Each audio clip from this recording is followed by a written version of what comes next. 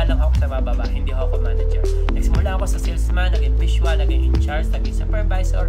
Ngayon ay manager na at ako na ho yung mga nagtitraining sa aking mga kapwa ko PM. Yun! Wala ho yan sa papel. Nasa diskarte ko yan. Talo ho ng diskarte yan, yung mga papel-papel.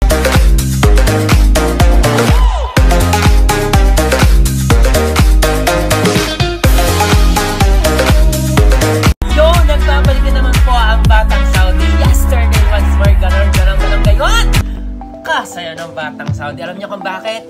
Ako ho ay nagpapasalamat sa inyo. Oo. Sa aking mga TikTok followers dahil meron na po akong 1 million hearts likes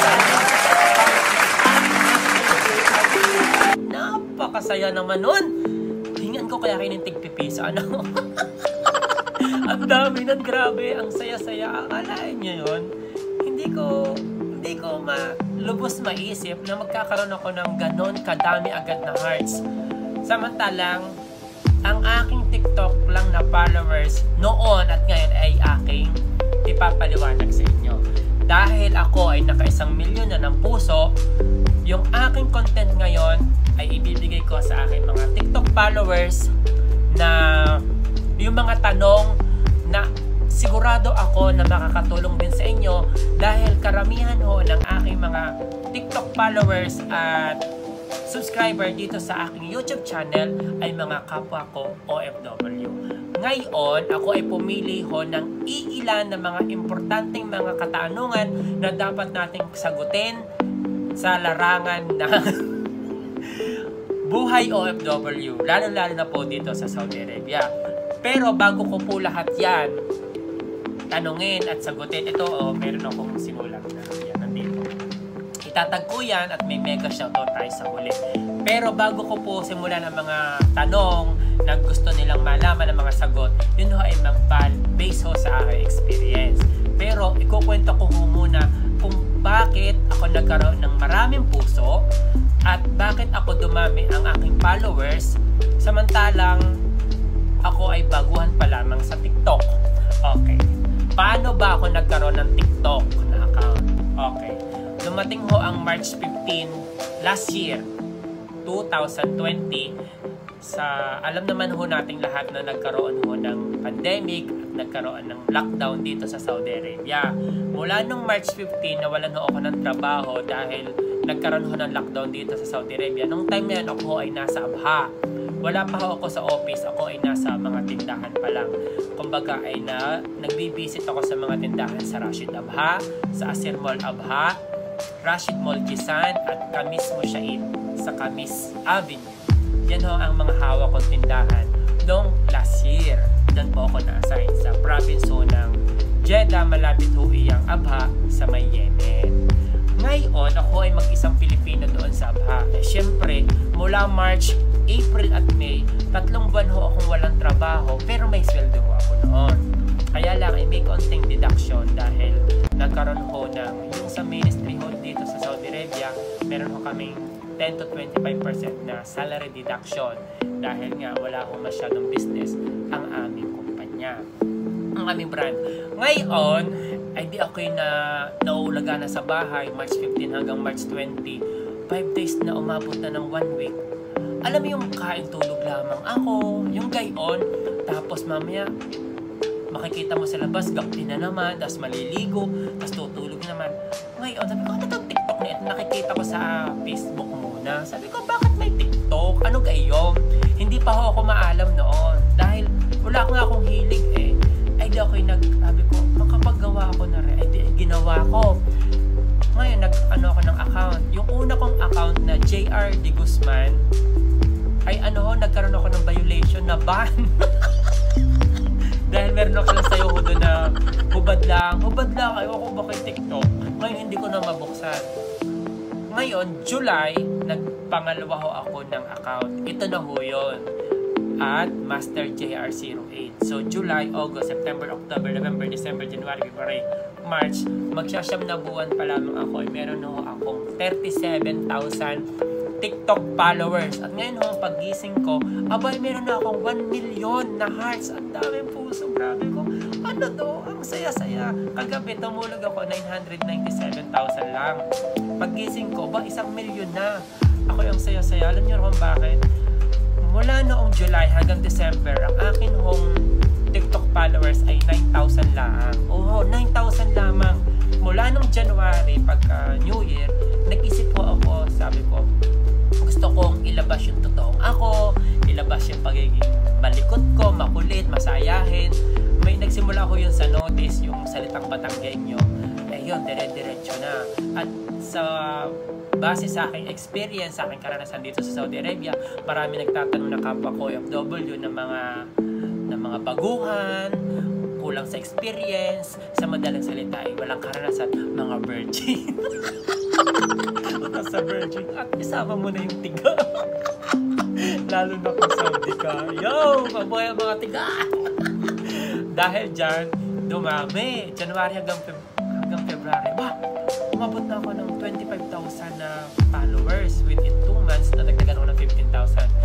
Hanggang kahapon, ako'y nagkaroon na ng 37,000. Sana'y lumaki pa ng lumaki. Ano? Yun. Dahil dyan, masayang masaya ako dahil umabot ako sa ganun 1 million na puso. Alam nyo, kahit wala ako ako sinuseldo, alam nyo yan, mga kapwa ko TikTok carries ng mga nagtitiktok. Dito ko sa Saudi Arabia, hindi kahit hindi Saudi Arabia, sa Middle East, sa abroad, lalo-lalo sa Middle East, pero special ho dito sa Saudi Arabia dahil wala ho kami sa open country na bansa. Karamihan ho, dito talaga nagtitiktok kasi yun ho ang isang rason paano kami nagiging masaya. Oo. Wala ho kami sahod sa TikTok. Hindi kami pinapasahod ng TikTok. Hindi kami kinukuhang commercial para i-promote ang mga brand. Wala hong bayad sa TikTok. Pero ho yung saya na nakukuha namin at nai-share ho namin sa kapwa namin OFW, lalo na yung mga OFW, ay hindi ho mababayaran yun. Yun ang aking naging aim bakit ako nag-grow, nag-dire-diretso yung aking ano, pagtitiktok na puro kalokohan na may kasamang good vibes, may learning din. O yun, ang sabi nga na ibang malaki, ay teach me, teach me daw. Kaya, alam niyo hindi nyo kasi makukuha yung, nyo mababayaran yung saya na nai, naiibahagi sa amin ng TikTok at na, na, nakukuha din namin sa kapwa namin magti-TikTok. Ang saya ko mag-TikTok, totoo, kahit wala ako jowa, abay masaya ako. Nag, alam niyo, ang ginagawa ko, nagtatrabaho ako from 9 ng morning hanggang 5 ng hapon. Minsan nagtitiktok pa rin ako. Tapos magbablog, TikTok vlog. Yan lang ang trabaho ko. Wala nga akong jowa eh. Pero kahit wala ng jowa, masaya ako. Ay, titikang. Kaya, dahil dyan punta tayo sa Q&A ng ating mga kapwa ko, TikToker, na nag na nag-OFW dito sa Saudi Arabia. Unahin natin si Christine Joy 08. Unang tanong, Lods, pa-health naman. Ben, binenta kasi ako ng amo ko, okay? Dito ako lilipat sa salon. Gaano po ba katagal ang process ng transfer? Thanks, Lods. God bless. Okay, God bless you. Ang tanong niya, gaano katagal ang process ng pag-transfer? Based on my experience at nangyari po to sa aking visual, sa aking mga staff, alam nyo ho, matagal, mabilis lamang ho ang pagproseso. Tumatagal lamang ho ang proseso ng pag-transfer dahil ho sa inyong office o sa inyong employer. Pinakamatagal at pinakamadali na ho yan ay 2 weeks to 1 month. Oo. Meron akong isang BM na 2 weeks lamang na process na ho yung pag-transfer niya. For like, like uh, example, galing ho siya ng landmark company, lumipat ho siya sa company namin, nagkakaroon ho siya ng release visa, tapos sa kontrata niya doon sa una niyang employer, nag-apply ho siya sa aming pangalawang company, natanggap po namin, humingi lang, kung humingi lang kami ng papers pra, para galing sa kanyang unang employer, tapos yung kanyang ikama ay transferable. Umabot lamang ho ng dalawang linggo. Pero ho, meron ho umaabot ng tatlong buwan, apat na buwan sa pag-transfer dahil ho sa mga batugang tao sa office. Yo, dahil kulang ho sa follow-up. Based ho yan sa experience. True to life ho yan. At kaya sana ay nakakatulong. Ano ha? Yun. Pa- kung gusto nyong mapabilis, eh di mag-follow up ho kayo sa inyong amo para mapabilis. Pangalawang tanong, Muskan Smith 3. Lods, minsan natatakot ako ng mag-comment. Okay, bakit? Baka magkamali din ako ng spelling. Pinapanood ko na lamang ikaw. Maraming salamat. Happy feel kita. Yo, maraming salamat Muskan Smith 3. Alam nyo ho, kung hindi, nyo pa, hindi ko pa kayo follower sa akin TikTok, ang dala ho ng content ng aking TikTok ay good vibes. Alam nyo ho, sa panahon ngayon, yun ho ang kailangan natin, yung masaya. Yung good vibes, yung nakakangiti. Kasi iba ho ang ngiti na galing sa puso. Yung hindi ho wala akong kaplastikan. Yung, yung parang ang saya-saya, yung galing dito, yung hindi mo pinipilit ang saya mo kahit alam mo yung pro- may problema ka na, pero pinapalabas mo, kaki, pinaplastic mo yung sarili mo dahil kunwari masaya ka lang. Hindi yon Kasi maraming tao at marami kong kapwa OFW na maraming problema. Ngayon, yung aking pagpapa pagpapagod dahil sa TikTok, dinadaan ko muna sa biro. Nag, sa totoo lang ho, naghahanap talaga ho ako ng mga tanong na alam ko ang sagot, pero may mali sa kanilang mga comment alam ko naman ho na yun ay minsan ay nagkakamali ho talaga sila. Minsan yung iba ay ginagawa ng mali para ma ma-notice ko. Pero sinasagot ko pa rin ho ang katanungan. Yun. Ang ginagawa ko pag ako nagno-notice, binugod guys ko muna, niloloko ko muna kung para maging masaya. At the end, sinasagot ko pa rin yung totoong ano. Yo, totoong sagot. Next, Inday Langga 91. Lods, pwede po ba o hindi pwede ilipat ang household workers sa company ng lab- o labor ikama? For your info, household workers, kung ako nagkakamali, ito yung tinatawag natin na mga yaya, nani, at domestic helper DH, mga bayani nating kapwa FW, saludo ko sa inyo.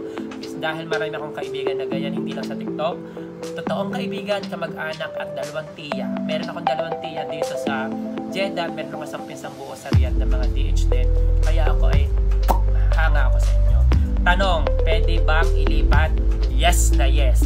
Pero, kung ang iyong employer ay hindi ka ina-allowed na magpalipat sa ibang company dito sa loob ng Kingdom Saudi Arabia, hindi ho kayo malilipat. Ang una nyo hong gagawin, itatanong si employer kahit ano pa hong trabaho ang una nyo hong gagawin, itatanong si employer kahit ano pa hong trabaho nyo. Mapa service crew ka, mapa kitchen crew ka, mapa staff, mapa salesman, mapa sales lady, mapa cleaner, mapa dish, mapa manager, mapa supervisor, kahit ano, pantay-pantay, kung ang company mo ay release visa.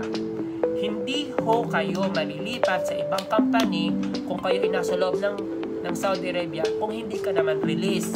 Walang kwenta kung ikaw ay maghahanap ng company dito kung hindi ka naman release. Pero ngayon, ito ho ang pangalawang option na maganda. Noong March 14, nagkaroon ho ng no kapala system sa Saudi Arabia. Hindi ako nagkakamali, pakikorek. Pero alam ko ang isasagot ko dahil napag-usapan ho namin ito ng boss ko. As long as tapos si kontrata, dalawang taon, pwede ka mag-apply dito sa loob ng Saudi Arabia. Okay? Pag may na-applyan ka na dito sa loob ng Saudi Arabia, pupunta ka sa amo mo at mag inform ka na may nakuha ka ng ibang uh, work sa pangalawa mong employer. Pwede na ho yun ngayon dahil inaprubahan na ho yan ng ating ministry. Ayun, sana po ay nakatulong. Pakikorek ko ako kung ako'y mali. Hindi ho ako perfecto based on my experience ho ito. Excuse po. Pang-apat na tanong. DH Hints, baka po may alam kayong agency para sa mga cleaner sa Pilipinas. Okay, may alam o hindi, pero sure ako sa agency na sabi ko sa'yo. Kasi ito yung agency na nagpali sa akin. CDK International Agency at Gulf Horizon International Agency. Ito ay matatagpuan po sa Ermita. Malapit ho sa Robinson Ermita.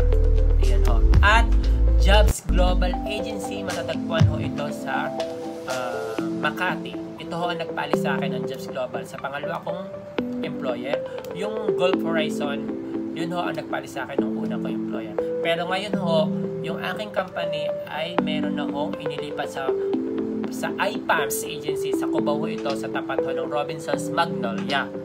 The best ho yung mga agency na yan. Hindi lang ho cleaner, lahat ng posisyon Marami ho diyang option. As long as may job order. Yun po. Next, Lin Yam Kaman 30. Anong requirements ngayon pag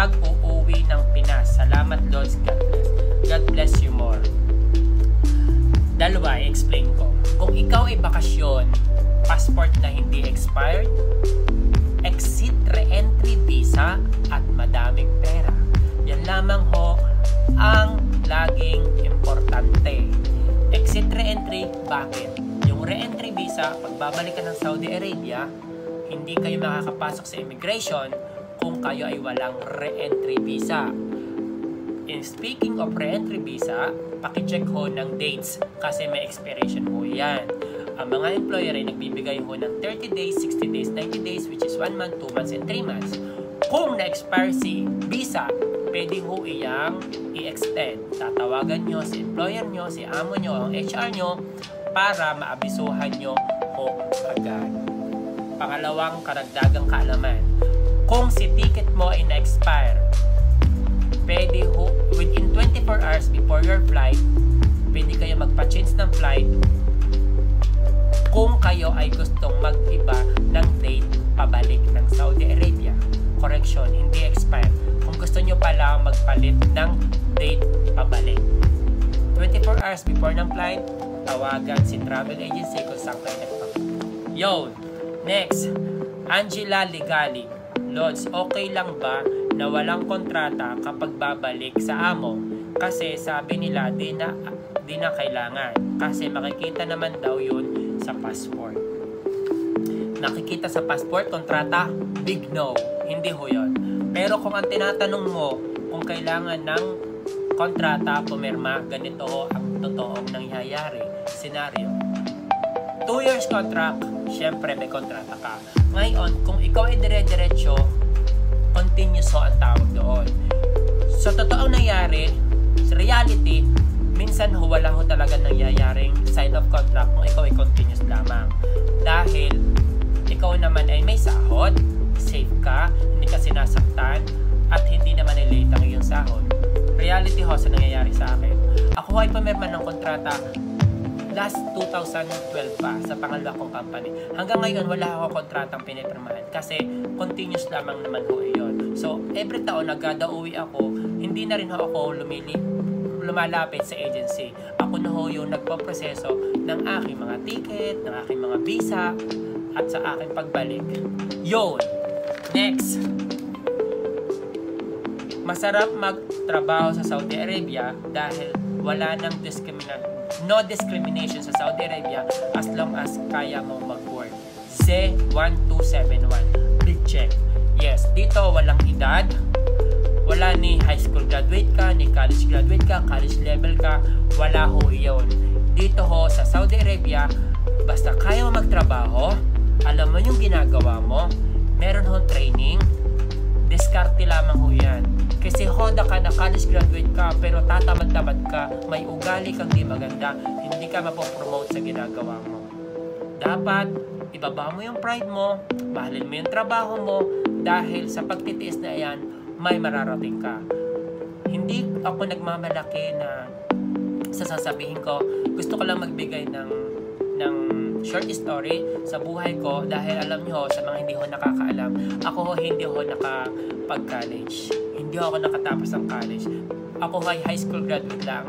Nakatungtong ako ng unang taon ng college pero tatlong buwan lamang. Itinigil ko ho kasi naka-experience ako ng trabaho, nakakita, kumikita na ako, parang sarap-sarap tumulong kasi yun ang gusto ko noong kapanahon ng walang-wala kami. Nung nag-Saudi Arabia ako, nagsimula lang ako sa mababa, hindi ako manager. Nagsimula ako sa salesman, naging visual, naging in charge, naging supervisor. Ngayon ay manager na at ako na ho yung mga nagtitraining sa aking mga kapwa ko PM. Yun! Wala ho yan sa papel. Nasa diskarte ko yan. Talo ho ng diskarte yan. Yung mga papel-papel na yan. Next, hehehe bills. Yung totoo, wala ka talagang jowa sa pogi mong iyan. Aba, wala nga ho akong jowa. Tigam na nga ho ako. Yo, wala akong jowa. Tatlong taon na ako. Ako yung nagsasabi na totoo. Eh kung may jowa, bakit gano'n? ipagmamalaki. Ano ho? Ayun, maraming maraming salamat at aking eh, shoutout muna ang aking mga baguhan na subscriber. Miss Yang Canli, Pusong OFW, Raquel Vlogs, Eden Alcobendas. Maraming maraming salamat sa inyo at wala ang sawa kayong panonood sa aking vlog.